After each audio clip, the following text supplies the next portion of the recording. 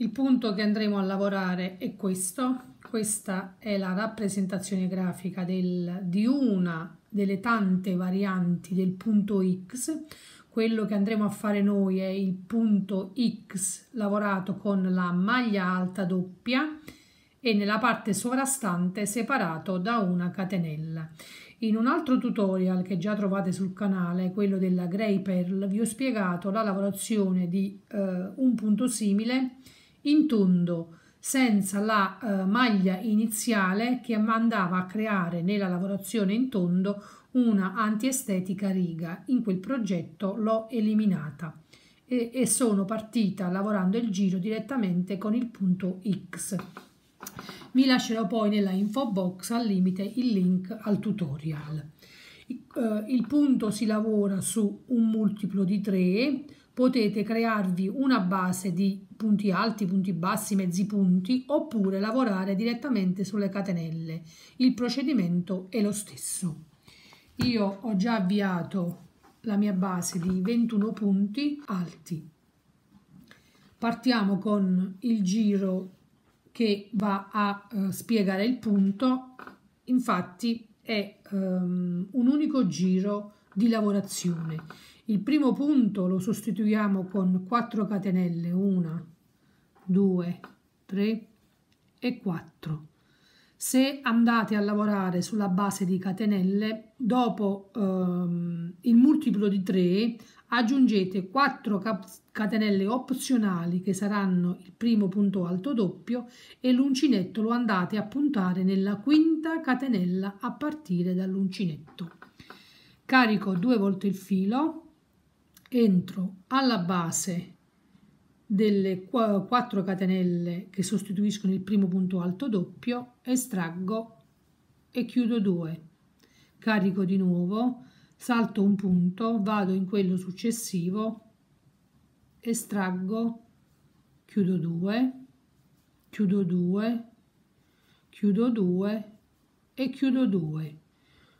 Una catenella di separazione, carico il filo e adesso andiamo qui, vedete, sull'incrocio che abbiamo creato con la chiusura di tutti i punti precedenti facendo attenzione a prendere e questa asolina e quella successiva del punto dietro.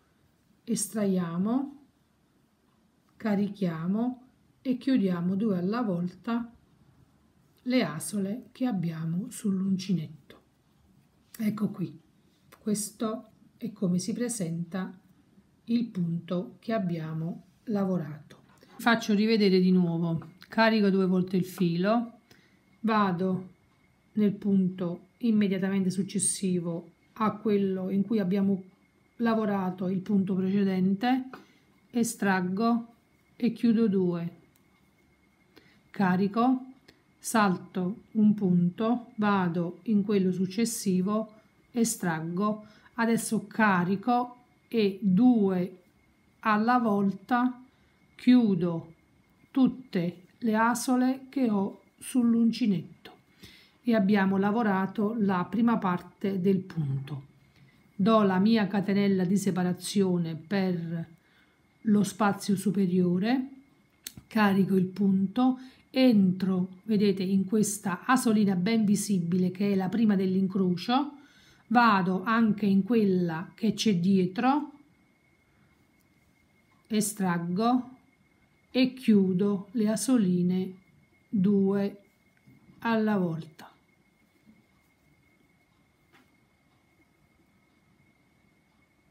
Di nuovo carico due volte il filo, entro nel punto di base, quello subito dopo al punto che abbiamo chiuso adesso, estraggo, chiudo uno, carico, salto un punto, vado in questo successivo, estraggo, carico e chiudo due alla volta tutte le asole che abbiamo sull'uncinetto.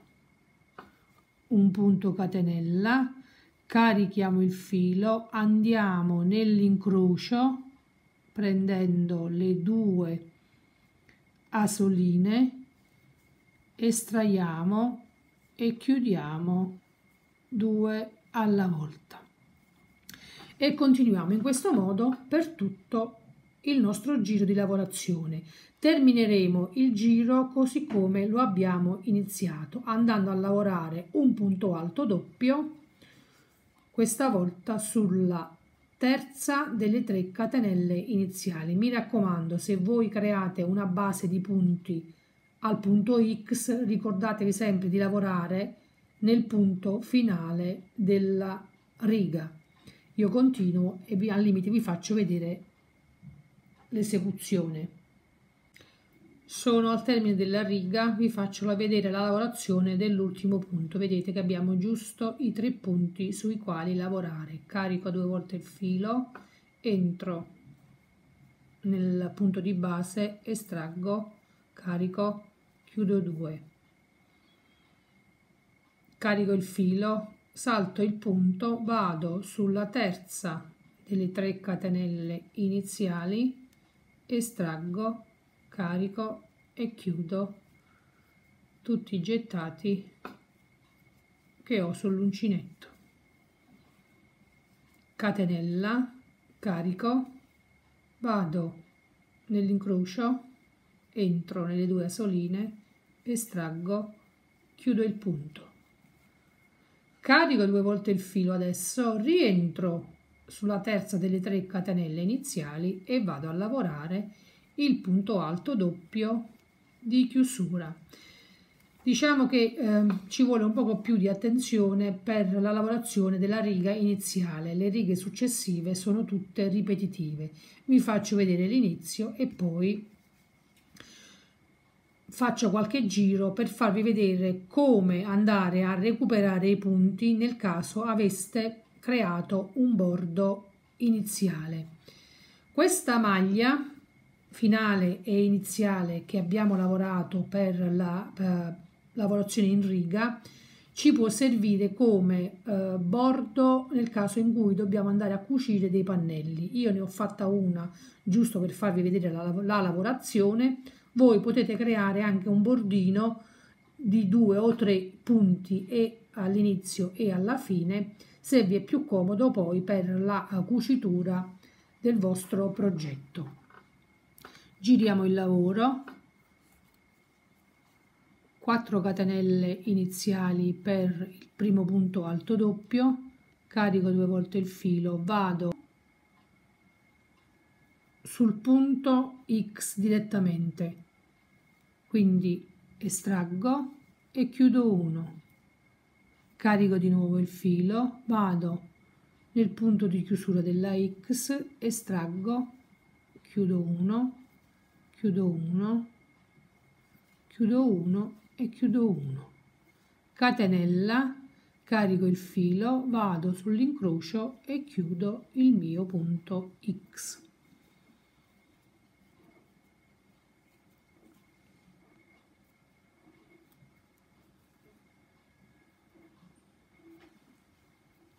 carico due volte il filo vado nel, prim nel primo punto della x sottostante chiudo 2 carico di nuovo vado nel secondo punto della x sottostante chiudo 2 chiudo 2 chiudo 2 e chiudo 2 catenella.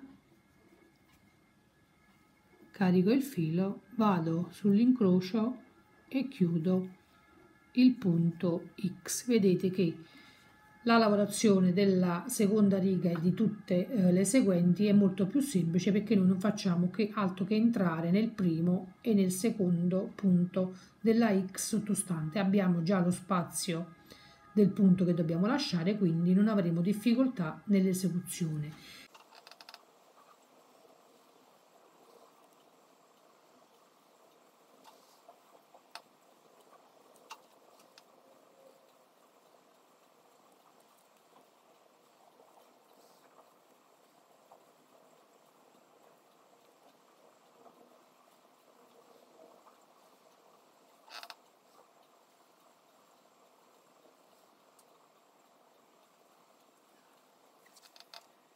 Ho lavorato qualche altro giro. Vi faccio vedere adesso come ricreare il bordino iniziale.